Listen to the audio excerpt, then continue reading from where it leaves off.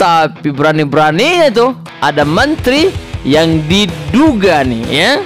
Mereka bisnis PCR tapi kata mereka saya nggak ambil untung kok. Astagfirullahaladzim ini kacau bener nih.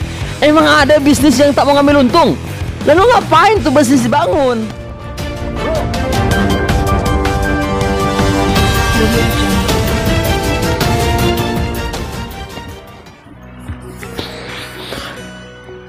بسم الله الرحمن الرحيم السلام عليكم ورحمة الله وبركاته الحمد لله الذي أرسل رسوله بالهدى ودين الحق ليجهره على الدين كله ولو كره الكافرون أشهد أن لا إله إلا الله أشهد أن محمدا عبده ورسوله الذي لا نبي بعده Allahumma salli ala sayyidina Muhammad wa ala ali wa sahbihi ajma'in. Amma ba'd. Sahabat Al-Quran, sahabat Atiga sekalian, Alhamdulillah jumpa lagi kita ya di channel yang cakep ini ya. Cerdas, aspiratif, keren, edukatif, profesional. Jangan lupa bersalawat kepada Rasulullah Sallallahu Alaihi Wasallam setelah bersyukur kepada Allah ya atas nikmat yang dilimpahkan masih menitipkan ruh mengalirkan darah dan sempurna kita juga tidak lupa bersalawat kepada Rasulullah Sallallahu Alaihi Wasallam. Muhammad wa ala Muhammad. Sahabat Al-Quran sahabat artikel sekalian kita pagi hari ini akan mengabarkan tingkat kelaparan Indonesia masuk kepada peringkat tiga tertinggi di Asia Tenggara tahun 2021 ya GHI ya Global Hunger Index mengabarkan demikian ya mereka merilis ya ada negara-negara yang mereka itu kelaparan di negaranya sangat memprihatinkan. Negara pertama diduduki oleh Timur Leste, kemudian Laos, kemudian Indonesia. Adapun indeks yang paling rendah kelaparan mereka adalah Thailand. Wih, Thailand ya? Allah Akbar. Lanjut. Hmm, tingkat kelaparan Indonesia menurut Global Hunger Index menempati urutan ketiga. Indonesia mendapatkan skor sebesar 18 poin termasuk level moderat ya. Skor ini berada di atas rata-rata global yang besarnya 17,9. Sementara negara tingkat wilayah paling tinggi itu adalah Timor Leste ya. Bayangin nih sahabat Indonesia masuk kepada negara yang kelaparan. Nauzubillah. Ya menurut kita sih ya gimana tidak kelaparan, korupsi merajalela ya. Mereka bahkan tidak segan-segan uang bansos saya ditelap, ya kan?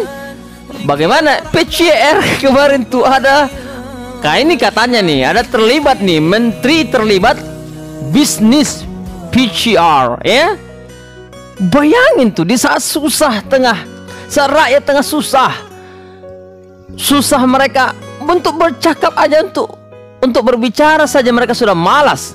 Karena apa? Tidak ada pendapatan tidak ada penghasilan. Eh tapi berani-beraninya tuh ada menteri yang diduga nih ya. Mereka bisnis PCR tapi kata mereka saya nggak ambil untung kok. Astagfirullahaladzim ini kacau bener nih. Emang ada bisnis yang tak mau ngambil untung? Lalu ngapain tuh bisnis dibangun? Bro ngapain tuh bisnis dibangun astagfirullah ya.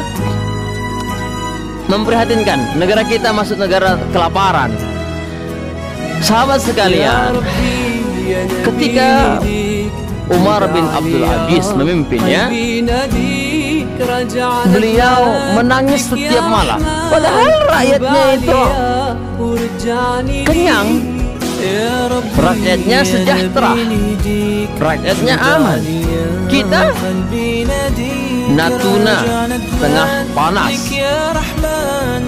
Politik tengah tidak sehat. Keamanan tengah terganggu. Ekonomi hancur-hancuran. Kemarin ada beredar itu pemberitaan di media-media sosial ya kan? Bahwasanya itu tol kita tidak sehat ya. Makanya kemarin itu ada kecelakaan ya.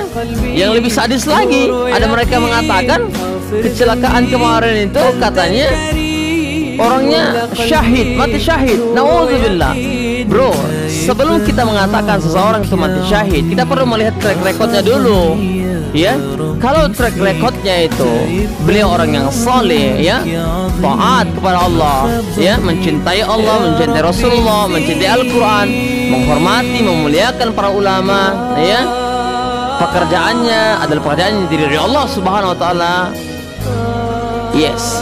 Itu ia mati syahid tapi kalau kita sudah tahu track recordnya adalah seorang yang menunjukkan kebencian, ya, menunjukkan pelecehan, terus kita juga tahu pekerjaannya ada satu hal yang mengandung atau mengundang murka Allah. Lalu bagaimana kita mengatakan syahid?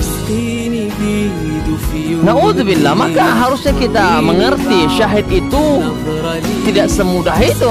Orang yang syahid itu mesti punya track record yang benar ya.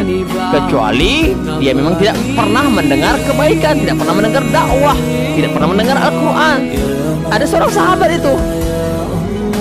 Ketika masih jahiliyah dia berbuat maksiat dia kaf dia kufur ya.